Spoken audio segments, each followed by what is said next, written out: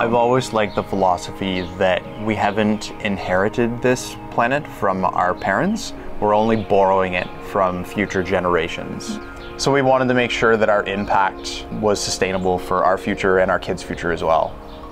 We watched a film called Trashed that shows how people deal with trash all over the world or how it's not dealt with, and that there is no great option for waste other than not having it. After that film, we decided that we needed to change the way we were living and the way that we were doing things. So it's been almost five years now. It took us two years to open the store, and now the store has been open almost three years. So, yeah, it's been quite a journey.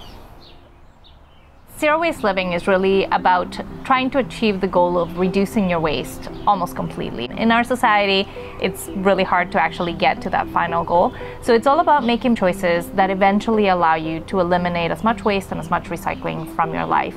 It's part of sustainable living. Um, so there are other areas, you know, like trying to use less fossil fuels, but zero waste is just trying to reduce your own personal waste as much as you can with the resources that you have. Yeah, it's going to be different for everybody. It's just the end goal, and it's always a journey. We're all consumers. There's no way of not being a consumer in this life that we're living. So there's always going to be an element that you can improve on.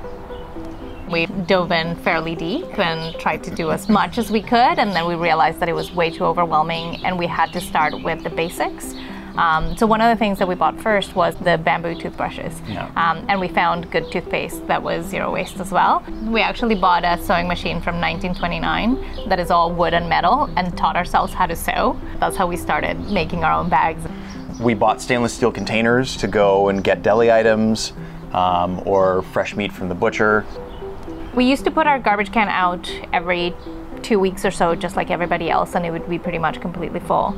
Now we put it out about once a month, and it's only about half full. It's been a considerable reduction of our waste, so I would say probably about 75 to 80 percent of our waste has been completely eliminated. The three main areas is usually in the laundry room, the kitchen, and the bathroom. And it is difficult if you have things like pets or if you have kids. When we can, we make a whole bunch of snacks for the kids, but they have those specific snacks that they won't like the alternatives, right? So we do have to make compromises here and there. And we found, especially with having kids, if you can give them experiences over things, those are the things that they'll remember as adolescents or adults over just incremental moments of joy from a material item. Um, and we've seen that firsthand with, with our kids, and it's been awesome. We do have pets, and most of the pet food comes in non recyclable plastic bags. So, those are things that you can't really get rid of. Um, and we know that we're not perfect, but we're always striving to find those alternatives that will get us one step closer. It was really difficult in Victoria because we had to go to like seven or eight different stores to achieve a zero waste sort of lifestyle. So we created a website of all the places we were successfully shopping zero waste. And then we decided to start going to farmers markets with some of our products. And that was really successful. And so one thing led to another, and we opened our brick and mortar store. We opened a store called Zero Waste Emporium. And we wanted the name Emporium because it just kind of exemplified that old lifestyle. Because zero waste living is not a new thing. It's something that our grandparents and great grandparents used to do, right? They used to live this way, reusing everything that they had, repurposing things as much as possible. And single use plastics have only been in wide production since World War II. So that's a staggering amount of, of waste that we've managed to produce in such a short amount of time. So oh. yeah, going back to the way things used to be in terms of its simplicity is yeah, not a new idea. We're trying to be as close to a regular grocery store as we can be, just without all the packaging. So we encourage people to bring their own containers, whatever they already have at home. But if you come into the store completely unprepared, we have a take a jar, leave a jar option, and we get people to bring in their recycling. We can take it, clean it, and sanitize it in house, and it's ready to use. And we also have paper bags. So that way, nobody has to feel pressured to always have all your containers ready. So we have all the basic items that you would need to kind of get started with a zero waste lifestyle, and then all the other stuff that you would get on your weekly grocery shop just without the packaging. All the kitchen staples, a lot of personal care products, basic kitchen utensils and brushes and stuff like that. All the proteins, both vegan and meat. Um, we have things like ice cream. We have a lot of treats. Some of the unique things that we have are milk on tap. Um, you can get all your yogurt and condiments on tap as well, unpackaged tofu. We have local meat um, and things that we can't bring in zero waste, we'll make ourselves in store. Um, so we make pasta sauce, we make two vegan cheeses, we make all of the butter. One thing that was really important to us is that we were um, super inclusive regardless of your lifestyle or your dietary needs, we wanted to make sure that everybody that wanted to participate in zero waste had that opportunity.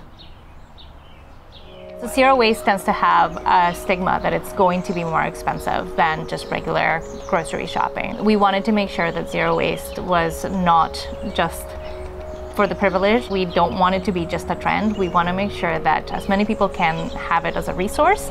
It doesn't have to be perfect. You don't have it to be perfect in all areas of zero waste. So everything that we bring into the store um, we price check with the three larger grocery stores in town, and we always match their prices or quite typically market a little lower uh, to make sure that um, anybody could come in and not have to pay any more just because it's zero waste. And one other thing is that you can go out and buy all your bamboo utensils and your stainless steel containers and all of that, or you can just use what you already have at home what we try to do to source uh, products in general is we try to focus on local producers, um, especially because they are really keen to work with us on a circular economy. So we've created these programs where we will provide containers or the supplier will provide containers that can be reused. So we'll clean them, sanitize them, send them back to uh, the supplier and then they can refill them. So that eliminates waste all the way from the producer to the consumer. And that shipping of that container back to the manufacturer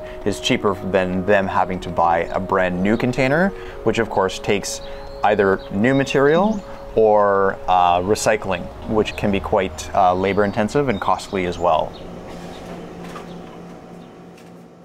Right now, we don't count every container that uh, passes through our store, um, but we know that on average, each customer will bring about five to 10 containers to refill. And if we start kind of multiplying that, uh, we are reducing about 125,000 to 150,000 containers from going into the landfill every year. And now that we have our suppliers as well participating in circular economies, that has added an extra element of containers that are not going to the landfill and new material that is not being produced for packaging. Even though it's important for consumers to make a, a good decision, it's even more important for uh, distributors and local stores like us to make those responsible decisions so that people have that option in the first place. It shouldn't be just left up to the consumer um, it's everyone's responsibility. We live on a finite planet with finite resources, and as much as we can try to recover waste and turn it into new materials, every time you recycle something, you're not actually recycling it, you're downcycling it. And so um, a plastic bottle can only be recycled a couple of times before it has to go to the landfill. So the more that we can all as a community reduce our waste, the better planet we'll leave behind for the next generations.